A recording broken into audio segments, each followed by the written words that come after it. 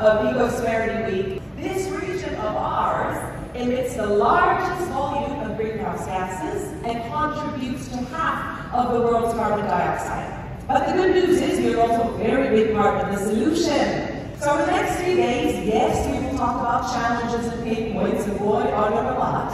But what we really want to do is to identify those high impact levers that already exist so that we can fast track decarbonization and make it affordable to all countries. We are planting this in the Philippines. We have worked closely, or Temasek have worked closely with EcoMatcher, uh, and you can go ahead and track just how many trees are being planted in the long run, either via their website or their app, and you can do it too. So thank you once again for being a part of Ecosperity Week 2023. I'm Nikki Muller, and I'll see you right early, 8.30 a.m. tomorrow. Thank you. If you joined us yesterday, which I hope did, I also hope that you found the discussions not only insightful, but actionable. I mean, this is why I always say we need to maximize the fact that there are so many people in this room. And for Asia Pacific, we're really in the hot seat because this is home to the world's uh, most number of megacities, right? Which means we are increasingly vulnerable to climate-related risks and challenges. Absolutely, this is it. Welcome and good morning. Financing Asia's Transition Conference. This is FAST, and it's brought to you by the kind folks at BlackRock, Monetary Authority Singapore, and Temasek. So it is day three of Ecosperity Week 2023, and it has been fruitful to say the least. Uh, I am a humble student of all of you here, and the amount of notes that I've taken has been extraordinary. So yesterday, we are really deep diving into financing Asia's green transition, yes, there is a significant gap there, and we all have a part to play in this. We are looking at uh, new ways and creative ways of thinking about financing. We're looking at robust investment vehicles and kind of changing the game, because these are unprecedented times. It's complicated. In this part of the world, in ASEAN, in APAC, there are ready to go scalable, commercially viable, nature-based solutions. It's coming out of our region.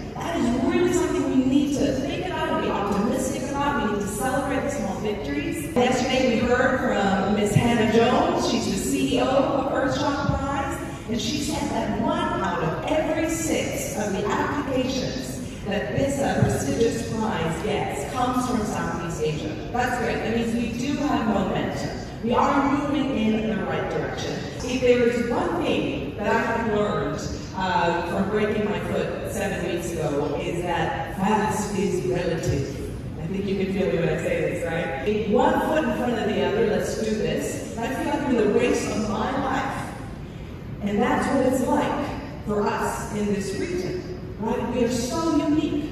It's beautiful, but it's unique. Some of us are moving faster than others. Fast is relative. Some of us need more help than others, and that's why we're here. We have a this morning, and we cannot wait to hear from him. This is a gentleman who has played a significant role in shaping inclusive economic policies for his country. Ladies and gentlemen, please join me in welcoming the Senior Minister and Coordinating Minister for Social Policies and the Chairman of the Monetary Authority of Singapore in the Republic of Singapore, Mr. Tharman Shanmugaratnam. Good morning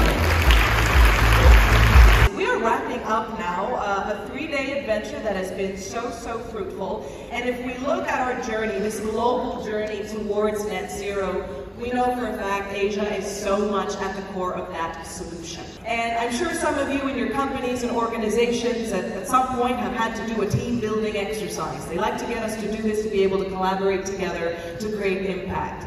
Well, this journey to net zero, uh, decarbonizing at scale to get us to where we need to be, is the biggest team building exercise this world has ever seen. And we are in the running, but it takes a village. As of now, I think there's 8,070 trees. Thank you very much for making it possible. We're doing uh, what we can to make it work. So thank you on behalf of uh, Temasek. It has been an absolute joy. My name is Nikki Muller, I hope to see you next year.